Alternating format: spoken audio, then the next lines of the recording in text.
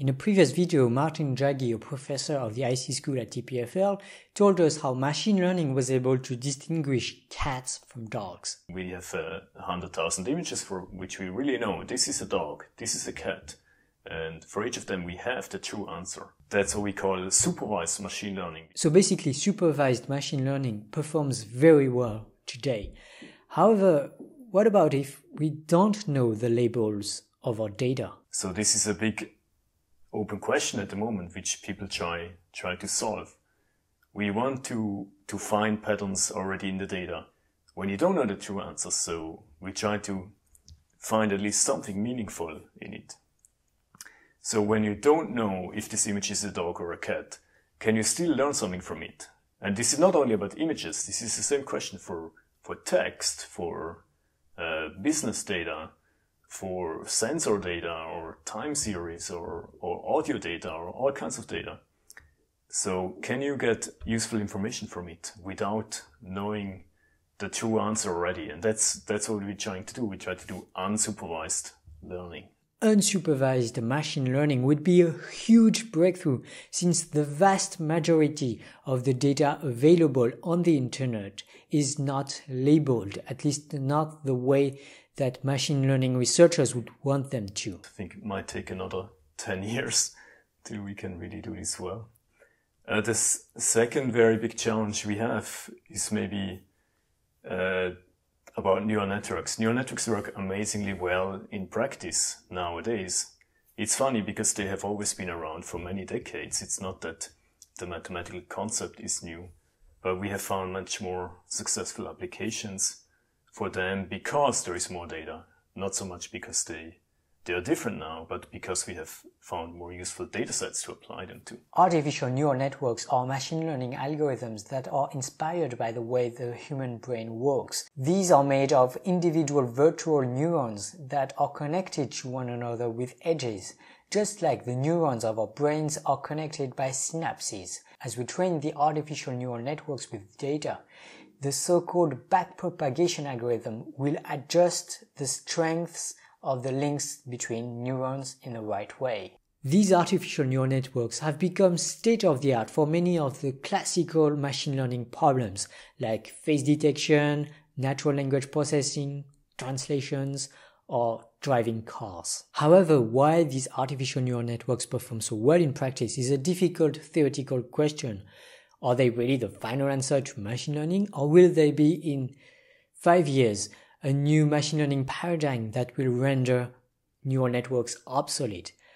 Well, perhaps I would say that nobody really knows because no one really seems to really understand why neural networks perform so well in the first place. But what's really lacking is the, the understanding of why the neural networks work well. So mathematically, they are still the same idea. It's like a, a regression model. Some input comes in and the, the network will predict a value. That's the, the answer it gives. And we train it using gradient descent, like this, trying to make the biggest decrease in the error. But why these neural networks work or what's the theory and if this algorithm actually can be understood is still completely open. We don't understand what these neural networks actually do and why they work well and if we can make any theoretical uh, statements about it. So it's a big challenge. Let's move on to the third big challenge that Martin Jaggi mentioned. So another problem we have in machine learning is is that the models we build they are very specific. They are they are much too specialized. So we can only do a neural network. We can train it to distinguish cats from dogs. So it's very specific. So if you take this network and want to apply it to a different task, maybe it's not on images, maybe it's another task, or maybe it's just about different things in the image, then this is completely useless. It cannot do, it cannot answer any other questions than it was trained to. And this is a challenge to, to give these networks ability to, to do other tasks as well, to transfer at least something they have learned to also improve a little bit on, on a different task because maybe it has been trained on, on images of, of something, but now you want to apply to something else like uh, a self-driving car or process a video or a very different application. The idea, what we'd like to do is that there are some different levels of, of understanding in your system. So at the very bottom, there is the raw data, the input. So maybe the pixels if it's an image or the, the letters if you're working on a text. And then the system gradually transforms this input into a more meaningful representation. Maybe it tries to combine several letters into a word and tries to represent uh, the meaning of the word.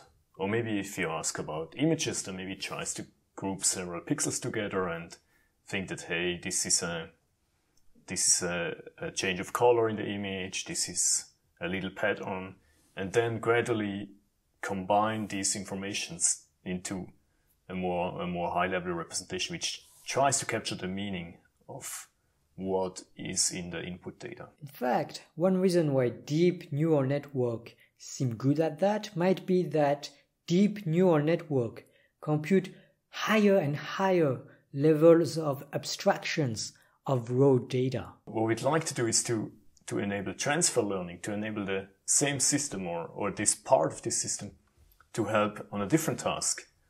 So maybe parts of these networks can also help for the different task. But there's no systematic way yet to, to enable this or to theoretically understand it. Okay, the last challenge we have is to, to make these models scale on much, much larger datasets and larger systems. It's interesting to compare this with human learning. A human being lives about a few billion seconds and at each second we collect data through our different senses, through our hands, our noses, our eyes, our ears, we definitely collect a few gigabytes of data at every second, which all add up to exabytes of data all along our lives. Not quite a zettabyte, but uh, close enough. Our computers today are nowhere near such capabilities. They typically only crunch gigabytes of data, perhaps terabytes. As Martin Jaggi said, scaling up this consumption is one of the biggest challenges of machine learning these days. Not only would this require more data, of course, but as well, this will require more sophisticated way to process all of this data, especially given that these days data are distributed throughout a huge network. So it's surprising, like most of the successful applications in machine learning at the moment, also in deep learning, they are all on just trained on one computer, maybe one graphics card in one machine. This actually includes most of the things that Google and Facebook and all these companies have done. So it's a big challenge is to make uh, uh, many computers work together to solve one such problem on maybe larger training data or to make many devices work together. It could be mobile phones, it could be uh, graphic cards and to design algorithms which can can benefit from from the increased computational power and to define uh, to find algorithms which which enable the the devices to work together and to jointly find a solution to jointly uh, find the the model which has the smallest error Instead, the algorithm that recognizes faces and suggests tags in Facebook uses neural networks. We're not going to take the decision away from the doctor, but try to support them to, to show them, hey, this might be a connection which which could be relevant for, for this particular uh, patient.